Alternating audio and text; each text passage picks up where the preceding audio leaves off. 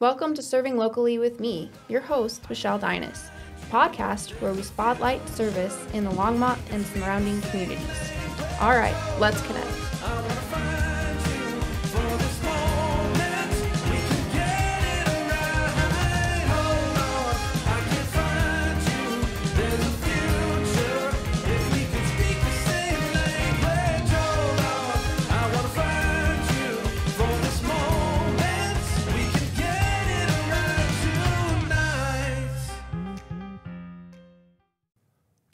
Hi, welcome to today's episode of Serving Locally with me. I am here with John Lovell with the Habitat for Humanity, and I'm really excited um, about this. Um, I got to work with them a little bit with the Veterans Community Project, and then I think I got in touch with you at the Unity and Community this year. Correct. So that way we can um, actually get you on here. So um, we'll just start out with who are you, and just give us a little bit of an overview about Habitat for Humanity. Great. Well, thank you, Michelle, for inviting us. Um, my name's John Lovell. I'm the Director of Development for Habitat for Humanity of the St. Vrain Valley. Uh, we're one of about 1,100 affiliates uh, in the United States of America, and we also serve in 70 countries overseas. Oh, wow. I did not know it was that big. Yep. It's fantastic. been an international organization since its inception. Awesome. Can you give us just a little bit of a background about Habitat for Humanity? Sure. Um, Habitat International was founded in 1976 by Millard and Linda Fuller and uh, another gentleman named Clarence Jordan. Um, together, they put together the basic principles at a place called Koinonia Farms, which was an integrated farming community. And the whole idea of um, putting together, having families um, help build their own homes. Um, a lot of the concepts that we use today in Habitat for Humanity uh, are originally started at Koinonia Farms. Uh, in 1976, uh, we actually became a separate entity. Um, our affiliate here in Longmont uh, was founded in 1988, and we're actually celebrating our 35th anniversary this How year. I am. Oh well, so was born in there you go. Okay, well then, then we've been around as long as you have. That's awesome. So here in Longmont, uh, we also serve uh, our our service area, if you will, Mm-hmm. runs all the way from Dacono Frederick Firestone, uh, all the way up to uh, Estes Park. Awesome. What is your focus at Habitat for Humanity? Well, our um, thing we're best known for, of course, is our um, home building program. Um, we have completed 122 homes uh, here in our service area, most of them here in Longmont.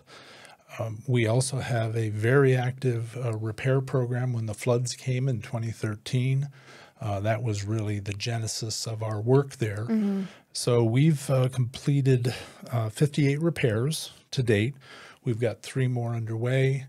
As I said, 122 homes. We've got another two that we'll be finishing in January. And then we're starting on 12 new homes uh, here in January uh, on the south part of town. Oh, wow. That's a lot. Yes, it is. 12 at one time. Yes. Is we- it like a, a community then, or are they spread out? Uh, no, in this case, uh, it is part of a larger commercial development um, where we are able to uh, build paired homes with that will be somewhat similar, but not the same, uh, to the commercial development that's going on right next to us. So the, we love it because the families will be integrated into that community and uh, and be part of it from the very beginning. Very good. Very good. I remember, think we did Habitat for Humanity when I was like my kids' age, because my mom was Mrs. Westminster or something when Ah, I, you know, 20 years ago, or more than that now. Um, and uh, and I think we went and painted some lady's house and did some yard work for her. Mm-hmm. You probably her did what we fence. called a brush with kindness, which Okay, is that sounds familiar. That kind of, of program, uh, probably with Metro Denver if you live down in, in uh, Westminster. Mm-hmm. There are 21 uh, different uh, habitat affiliates across the state of Colorado, and we have a state organization as well called Habitat Colorado Oh, okay. that uh, works with our uh, state legislators and things like that. So uh, it's a good, close knit family. Very good. Who are you trying to reach with your organization? Well, several folks that we um, that we focus on. Let's talk about families 1st Uh, our families are um, typically earning between 30 to 60 percent of the area median income, so they're considered very low income families. Uh, but they are uh, families that are serving as CNAs in our community. Um, they might be in the manufacturing business. Uh, they might have their own small businesses, but that equates to let's call it um, anywhere between thirty and sixty thousand dollars in um, annual income for those families, and that varies depending on family size, things like that. So we're um, we're serving a segment that could not uh, get uh, any kind of typical financing that you would see uh, in the uh, in our our state of the world today. You know, so that's um, that's a very important part of of what we uh, do. Uh, as I say, we're about to start 12 new homes, so we'll be selecting 12 families here in the next year or so uh, that will help build their homes. So, a Habitat family uh, actually has to uh, put in 250 to 500 hours of sweat equity to build their homes and the homes of their neighbors. Oh, the whole, and and their neighbors. That's too. right. Awesome. So it isn't just their house they're working on. So they're all working together. they're all working together, so they get to know one another, Mm-hmm. obviously, in a in a very important way. Um, the other part uh, that we we really want to focus on, especially with with your mission here, uh, is that volunteers are an absolutely integral part of what we do. Um, we wouldn't be doing this program if we didn't have volunteers as part of it. And the benefit there for both the families and the volunteers is they get a chance to interact, to meet one another, connect. to know who it is, uh, that they're serving, which is a terrific uh, thing. It isn't like somebody who's distant from them. right. But they also find out amazing things about one another. Like they're on the kids' same soccer program. Their kids go to our uh, school with the, the families. So it is a an important uh, breaking down of barriers uh, for folks. And as a result of that, we find many of our volunteers also become our advocates. So our board has been very clear in the in the years that we've been around to say we want to make sure our volunteer experience is as good as possible so that they become advocates and ultimately for me donors uh, to our program as they see the benefits and the changes in our families Absolutely. What makes the work of Habitat for Humanity different than other similar serving organizations? there are very few organizations that focus on home ownership. That is our primary focus. So um, we're part of what we call a housing continuum from, that ranges everything from homelessness all the way up to home ownership. And they're, those are important steps uh, that we find people go through. So a lot of rental housing in town, a lot of affordable rental housing. That's something we also need in our communities besides affordable housing. Um, so each of those steps along the way uh, are important uh, to serve for a particular time and as people gain stability, moving forward to the next step uh, in the home ownership process, in our view. So um, we're excited because those homes uh, they become property taxpayers just like all of us, and uh, and really have an important um, part of clearing the way for more people to become part of the Section 8 program, for homeless folks to move into stable housing themselves. That that process is very important to us as well. Helps them through to an end game. Correct. Yeah, Correct. that's awesome. And you mentioned uh, earlier that you were part of the Veterans Community Project build. They're amazing. They're, it's an amazing program. is absolutely amazing. But again, that's serving Mm-hmm. the homeless population of our veterans. Very sad thing. We're excited because Veterans Community Project um, has, uh, for the first time in Kansas City, where they were founded, they've had a person go through their program all the way to become a Habitat owner. Mm. And we're hoping for the same thing here. But we also work closely with the in between Mm-hmm. to identify families that uh, need stability. They've they've gotten past their their challenge that they're particularly facing, and in turn become uh, habitat homeowners. And well, we've probably had, I want to say, eight to 10 families come out of the in between, work their way through the program, and become habitat homeowners. That's awesome. Um, just, just, can you walk me through kind of what, what it means to be a habitat owner? Like, what is, what is that, you know, what is that, what does that look like? Is, are they paying for the house? Are they, like you said, there's sweat equity?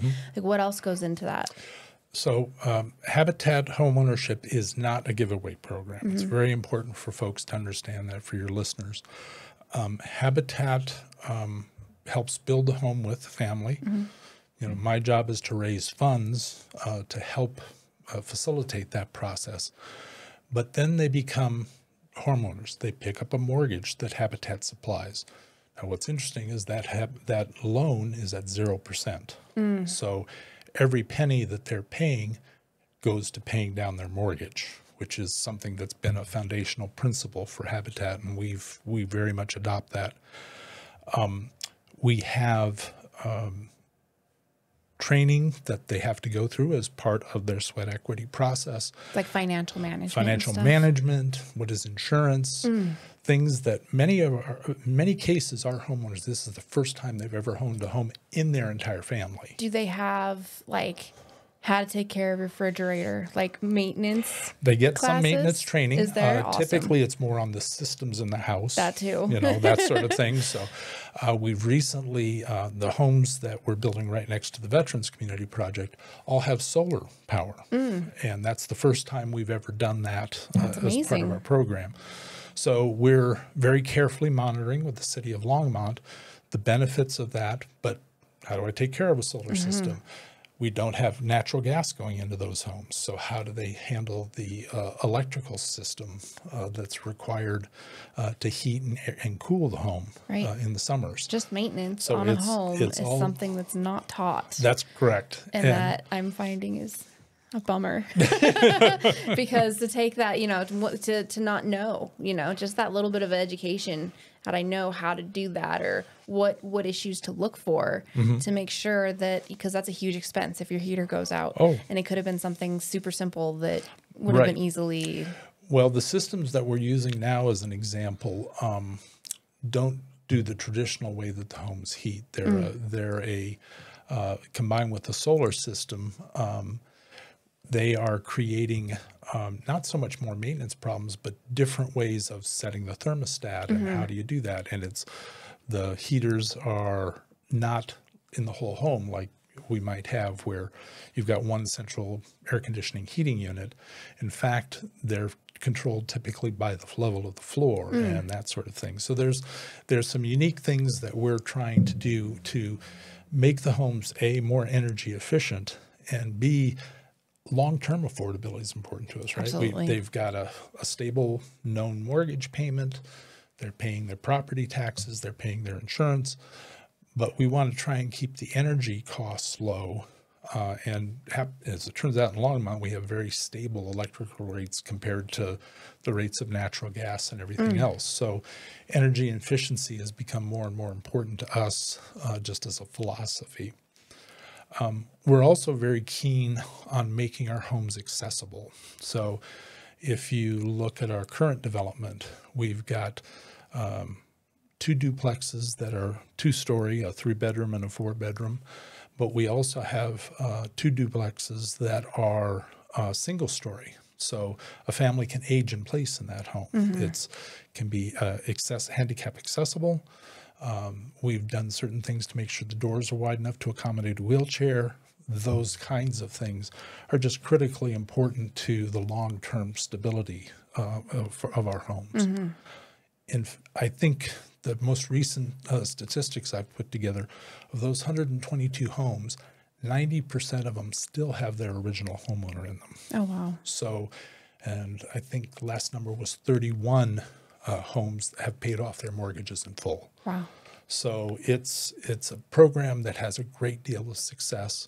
That stability can bring about a lot of benefits for the family. And the community itself. Oh, we think so. just yes. to stay in a place Yeah. instead of having to move every year or Well, something. Our uh, the assessed value of our homes uh, currently is thirty-one million dollars in this in this community. Wow. So it is creating economic stability for the family and economic benefit to our community. Yes, in many ways. That's fantastic.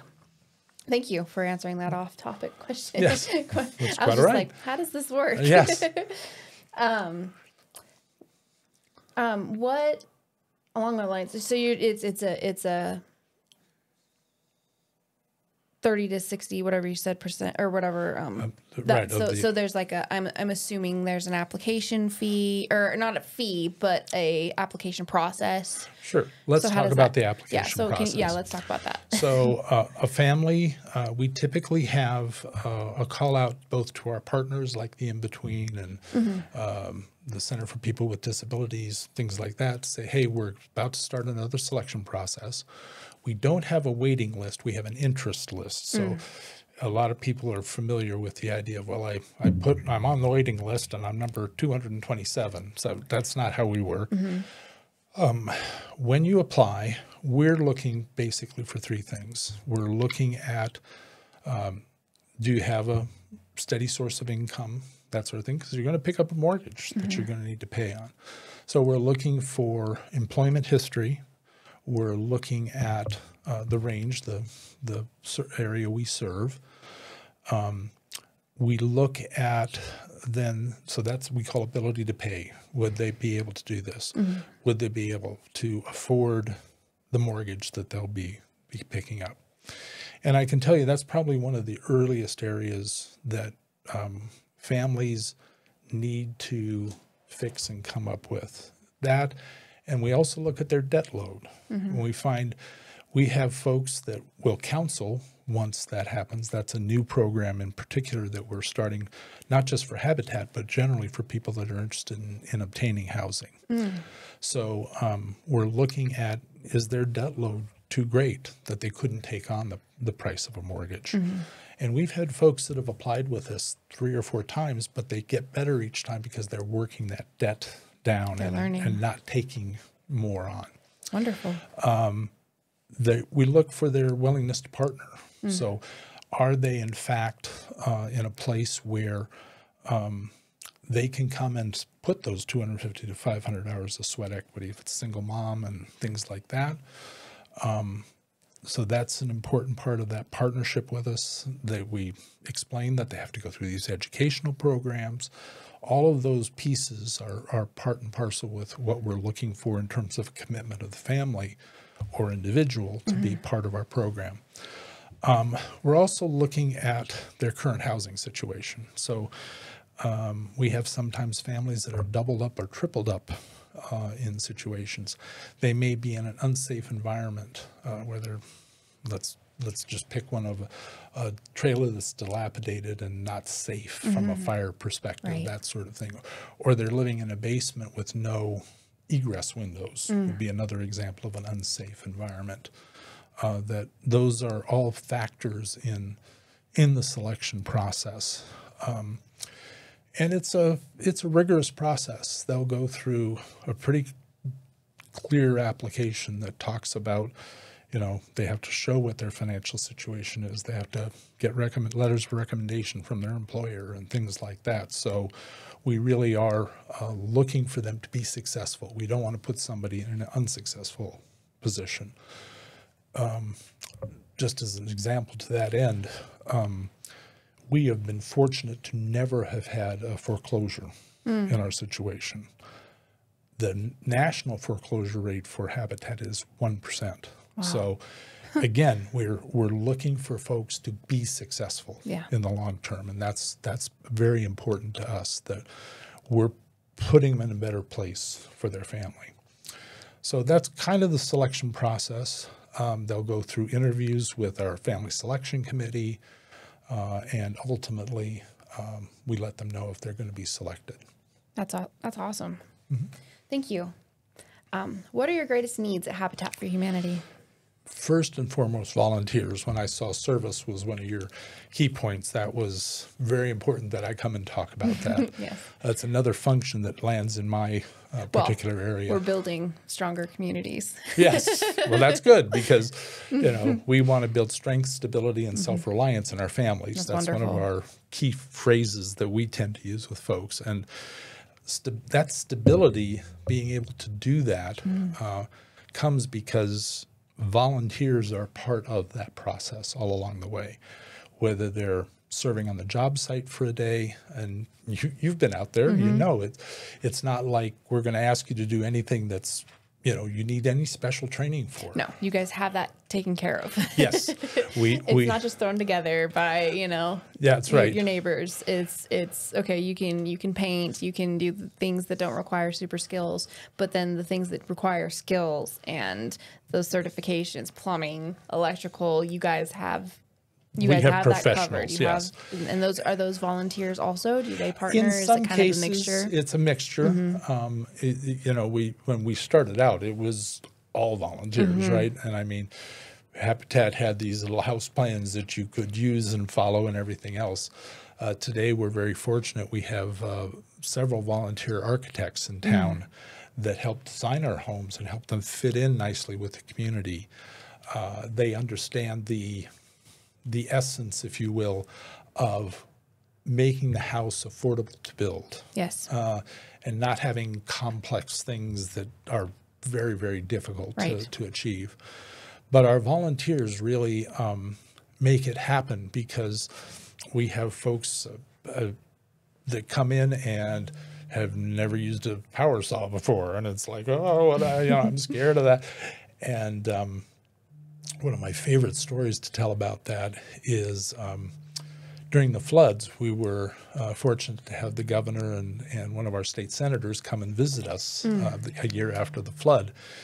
And we had a group of women uh, preparing one of our foundations for um, the home that would be built on top of that foundation. And the, go- the governor came over and said, What are you guys doing? And they were leveling the things so that the house would be square and straight and everything. He was just fascinated that this group of five women, led by one of our women volunteer uh, Nice. leaders, uh, was doing this pretty complex task that they learned in a day. yeah So it is it's something that I always want to encourage people. Don't think you have to have a special skill. Bring um, the folks from your church. Bring the folks from your business. Bring your women's sharing group or men's sharing group to come and really be a part of uh, this incredible process of building community and, and doing those things. I like that building community Yep. because they're building with the people that are there with the same goal in mind. Absolutely. And you make memories and even within your even within your group you you're connecting in a different level than what you're like normally doing. Oh, so it's good to get out of the box and see you know where where your gifts are and stuff too and, and hey we enjoyed this or oh we didn't enjoy this but hey we still had a lot of fun Well, you know it. And, you know, sometimes your gift is showing up. Mm-hmm. And you need people to carry the boards as much as you Yep. do to do the framing, to do those things. Picking but up we- all the nails Yes, we, and we, yes, all the nails. all the Uh, nails. so, you get your little magnet and you go out there and you can just walk around and pick up nails. That's right, And that's but- fantastic. but there is seriously where we pride ourselves on having a great construction team Mm-hmm. uh, that understands how to train volunteers and how to get them active and doing valuable things. yeah. And they there. had patience and that was very nice. Yes. Because they, you know, they show you and then they kind of watch you for a little bit to make sure you understand what you're doing Yep. before they leave you alone. And so that was good. So that way they don't have to go back and redo it or something. Mm-hmm. Um, so yeah, you want to make sure that you're you're you're putting your putting your your heart into it. Mm-hmm. Do you have requirements for volunteers? R- Sure. Um, to volunteer on the job site, uh, if you're 16 to 18 year old, you need to be there with a parent, Mm-hmm. uh, typically. Uh, and there's certain things you can't do, like can't have you using power tools and stuff. But Driving you can around. help with, yeah, that's that sort of thing. Uh, but there are volunteer opportunities at Restore as well. We haven't talked about that very much. Mm. Let's but talk about Restore. Okay. I love the So- Restore. so um, that is a place where we can use younger volunteers, Okay. about 14 and up, uh, for that. Uh, Restore is another funding source for us um, in terms of helping us to build houses. And we, uh, again, people can donate um, gently used goods there. Uh, primarily, uh, if you go in, we don't do clothing, we don't do televisions, that sort of thing. But we do have great appliances, uh, great furniture that folks have, have donated to us.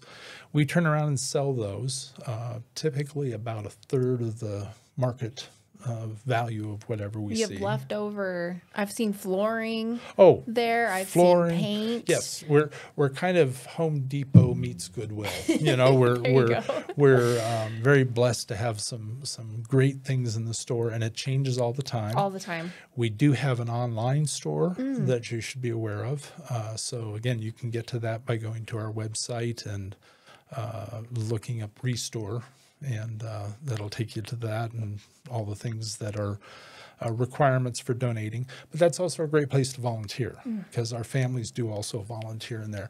Especially, um, we had uh, one family that just went in. Uh, whose uh, the daughter is confined to a wheelchair, and so uh, they just, as a matter of fact, we just dedicated their home, and that was where they did a lot of their service was working in our restore. So. Uh, again, we, we are very flexible in terms of how you work with Habitat to to make your volunteer hours, but that's a great place for kids to volunteer too if they've got their things they have to do for school requirements for volunteering. And as they get older, we'd love to have them on the job site too. That's great. I like that. I think a, a second thing that we uh, do is try to tell people about our program and to advocate for the need of affordable housing. I mean, frankly, it is the biggest problem we have all along the Front Range, as well as in our mountain communities. Uh, that uh, ability to say, look, I understand there's so many misconceptions about people that don't have the kind of housing that many of us are you know granted blessed to have. And um, these are the, the frankly the working poor in our community. These are folks that you're going to run into doing the stocking at the grocery store. You're going to run into them being uh, the cna that's taking care of your grandparents. These are the folks that make our backbone. communities run Yeah. quite frankly. So it's it's very important that we advocate for affordable housing at all levels um, because there are needs of the homeless. Well, these folks are at the other end of the spectrum. They're ready for home ownership. They're trained how to take care of it. Recently, we've been in several building in several communities where they have home ownership or uh, homeowners associations. So that's something we're training our people in now. How do you participate in that home Yeah. ownership? How do you do that? what one of the things I'm particularly proud about recently is uh, two of our homeowners have been elected to uh, positions in city. Uh, well, one is in the city council in Dacono, and one is on the school board up in Estes Park. Oh, nice. So that's something that's They're taking that community they- to heart. That's right. They're becoming a bigger and bigger part of their community. And that's what's so important to us is that really makes a difference. I think the other thing that we need to understand um, about our folks that enter into this program is I mentioned that roughly 90% of our homes are still occupied by their original folks. That stability that we give their children so they're not moving every couple of years. Well, and the knowledge that's passed on. to That, Absolutely. that family, you've started a complete different Mm-hmm. segment One- for their kids to go on and teach their kids. And, Absolutely. um, that's that's that's invaluable. and I think it's something that we've we've taken to heart. We have one of our family members uh, is now on a full ride scholarship to Duke. We because she had a stable environment. She had a place where she could grow and learn and thrive.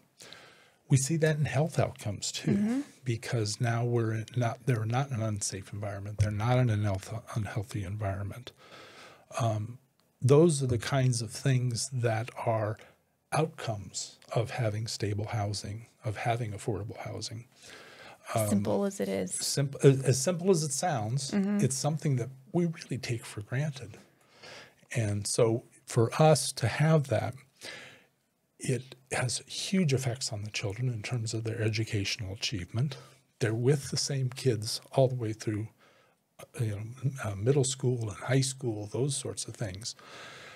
The other one that's that is not as apparent sometimes is that um, that stability allows our individuals to progress too.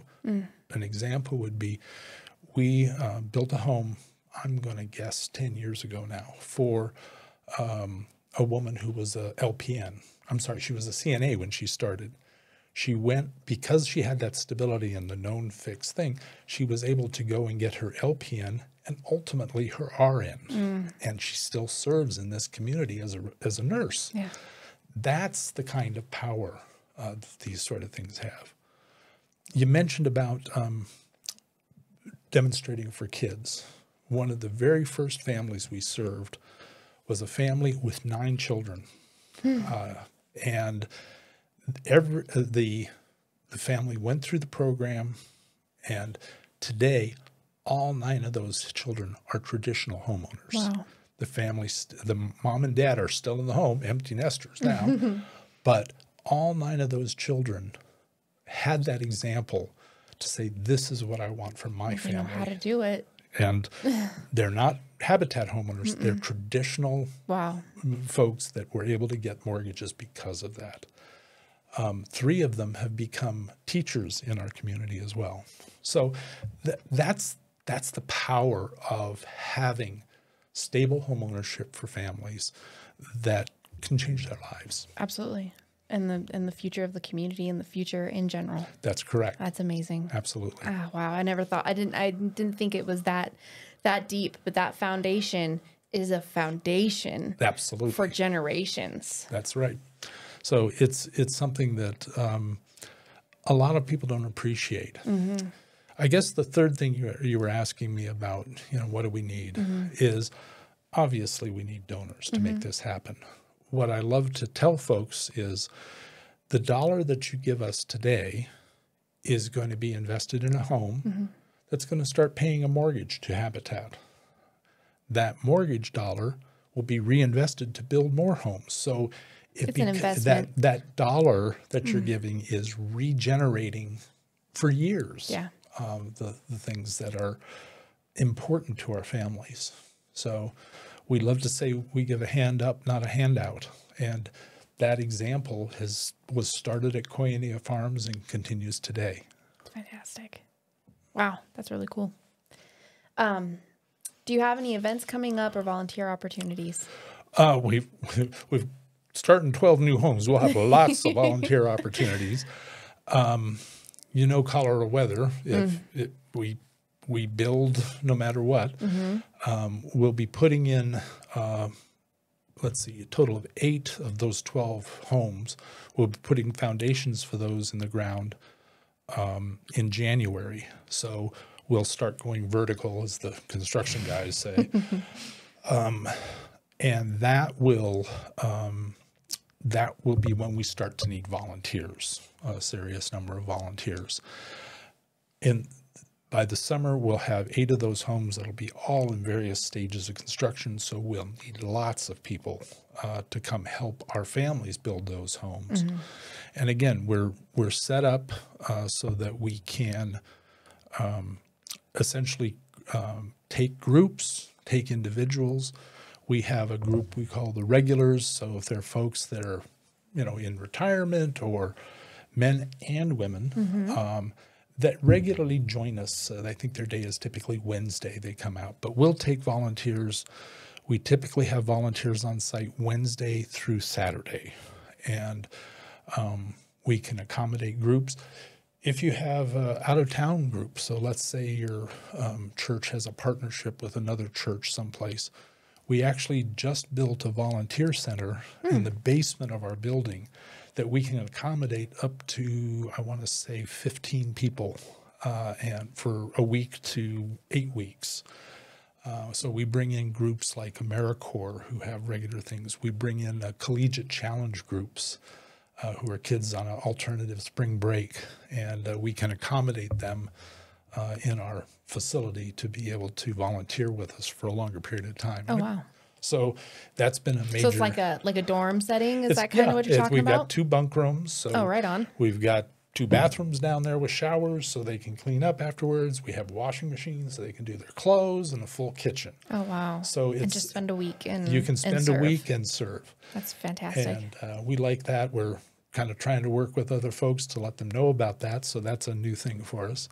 We just actually finished our big fundraiser of the year, which was our gift of home tour. And we are always looking for sponsors for that. But uh, that that event entails um, essentially us uh, working with some uh, decorators and such to decorate four homes in the community. And uh, we're always looking for new homes, especially historic homes that want to be part of this, uh, show off their place. The decorators uh, will come and decorate the home for Christmas. They can buy things from those decorators, that sort of thing.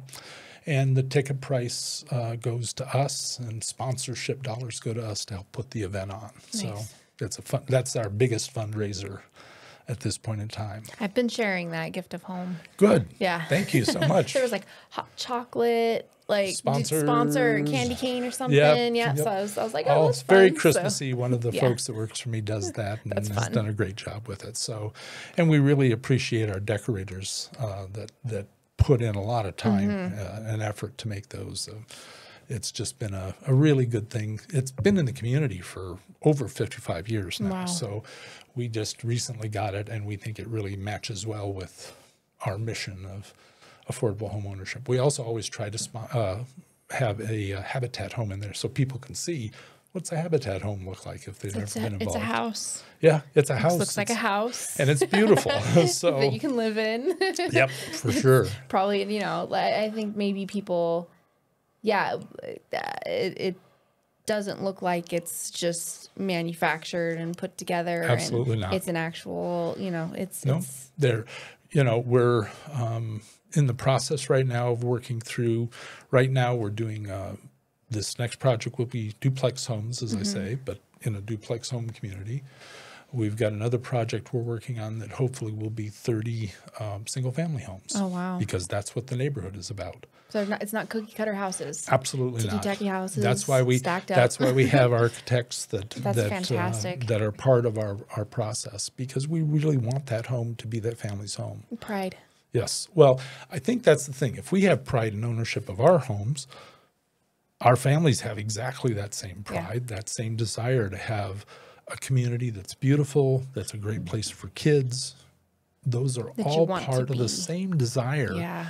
Uh, and and for some reason, that's why advocacy is important for us. We want our volunteers to meet our families. Yeah. We want them to see they're no different. They have the same desires as every one of ours. Yeah.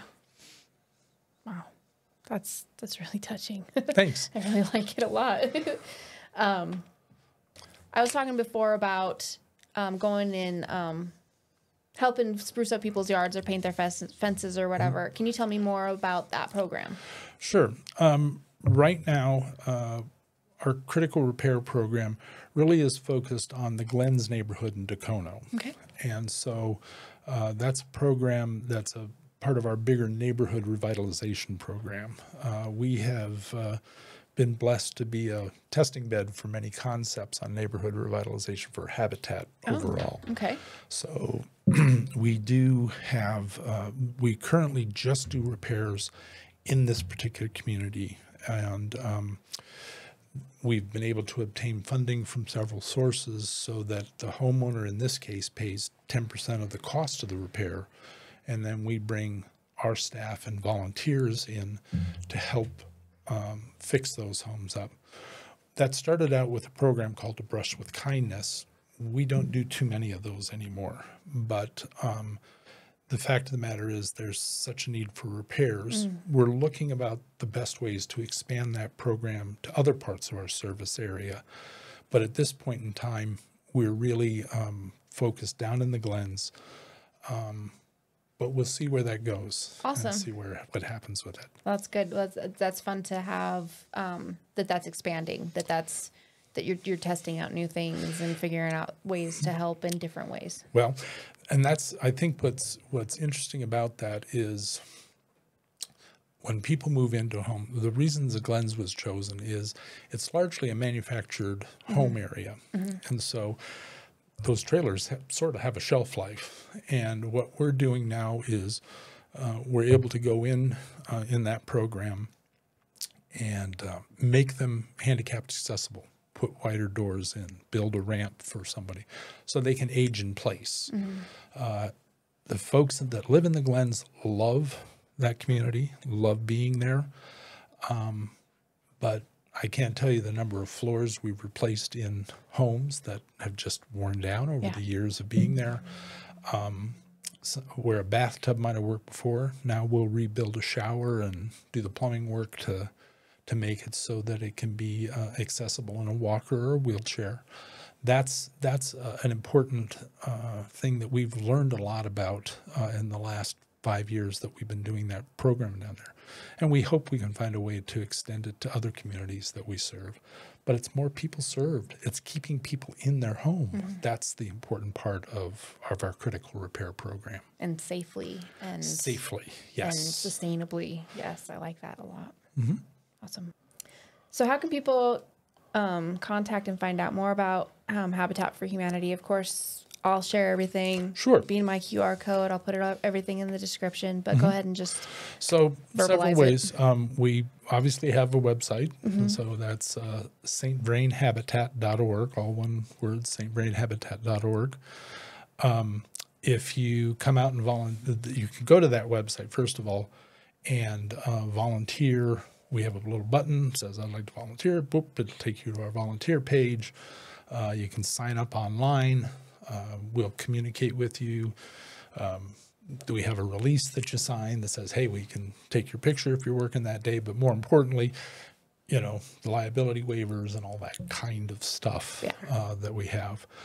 Um, the uh, other way is to call our office. We I have a volunteer uh, coordinator whose job it is to make sure we get people and groups and stuff in.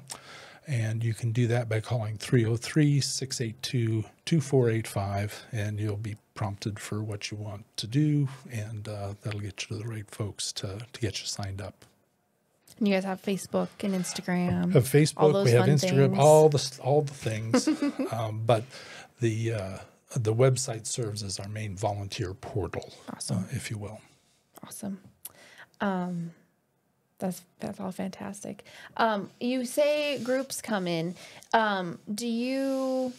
Is it just they just come in and they, or do you have like a, a program that like facilitates like group building or Absolutely. Do you know what I'm talking about? Yep, team building kinds of building, program. yeah. So uh, a lot of our corporate partners here in town uh, bring out teams every year. Some of them bring out two or three teams every year, uh, which we're thrilled about. Um, we don't um, charge you to volunteer at all, uh, but we do have a program that's called an Adopt a Day. So we know we spend about $2,500 every day in terms of materials and stuff to build a home.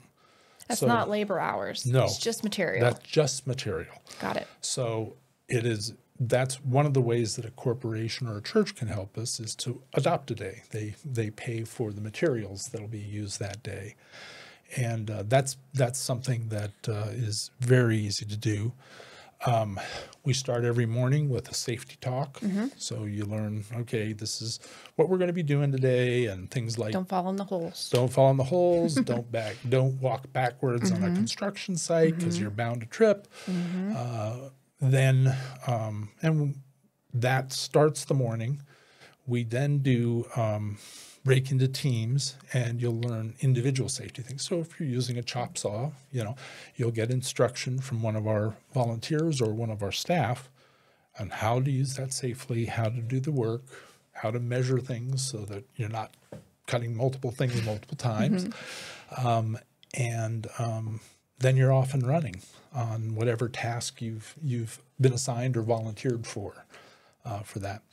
We take a lunch break uh, if it's a team build, part of the benefit of a team build is both you get T-shirts and you get lunch, so that's incentive.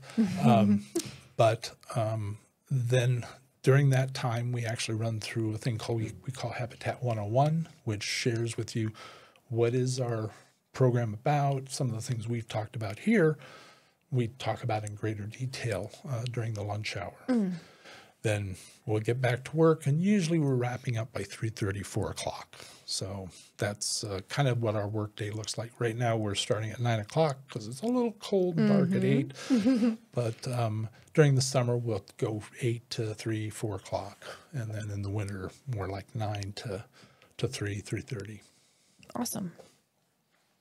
Um, is there anything else that you'd like to add to the conversation, maybe that I've missed, or you just feel that you have a passion to talk about Hmm. for a little bit? Well, I, I think it's, uh, you know, I've weaved in some stories that, that we have about our family. Stories families. make the whole thing. it's it it's what you know I as a development guy you know people say oh it must be awful raising my no it's I really look at it as as part of the purpose in my life you know I spent geez 30 years or so in the in the corporate world and began volunteering for Habitat back then um, but I really you know the thing I enjoy about this is it's really a purposeful life it's something that uh, I get to share the good news about what's happening in our community. And whether that's here in Longmont, up in Estes Park, out in the, the Carbon Valley area, Habitat's doing tremendous work in our community. And we've been blessed with resources, but um, as I've heard one of the pastors say, thank you, Lord, for what you've given us. It's not enough. We have more to do. And that's something I really take to heart. Um, we're blessed to be part of this community. We have been for 35 years. Um, so for us, it's really a way that we can serve, serve people of all faiths and all beliefs. Um, so for us, it is critically important that we do that service well. And whether that be with folks that volunteer with us for a day or become part of our regulars, whether it's somebody that gives us $25 a year or $10,000 a year. Those are folks that make the difference uh, for our families. And that's the one thing I think I could say as a person who's been in this role for 10 years. Um, those, those dollar investments that people um, make change lives and change them on a permanent basis and, for change them for generations to come. Absolutely. That's fantastic. Well, thank you so much, John, for coming on the show. Well, my pleasure, I'm and thanks to- for the invitation. Absolutely. I'm glad to track you guys down because I did the Veterans Community Project was my very first episode. Ah. And so then when I went and did um, help them on their build day, I might I met maybe you or somebody um, on, while we were there and I couldn't track you down, but um, I'm so glad that we were able to connect Well- and, and get this taken care of now. Well, it, it's great, and I'd say you know we're we're happy to partner with many folks in the community, and it just uh, it makes such a difference. And doing the right thing. Come out and build with us next time as we get started no, next. For sure. So, I'm looking forward to that. That'll be awesome. Well, thank you, John, for Yeah. um, talking to us about Habitat for Humanity, and um, hopefully you guys get some more get some more volunteers. You guys, Yes. it's, it's a lot of fun. It it really is, and you get to learn learn different skills and that can you can use in your life in your home set Mm-hmm. too. So if you're struggling with something like volunteer and come learn about it, that's a great great way to hands on do that. that's So, absolutely true. all right. Thank you, John. I appreciate you coming Thank you on. for having me, Michelle. Appreciate it. Yeah. Thank you to my guests, my listeners, and my supporters. Serving together, we can strengthen our community. Please like and subscribe. Do all those other things. You know you got to do them because that's the easiest way to, that you can serve right now. All right, now go. Connect with others and be a blessing.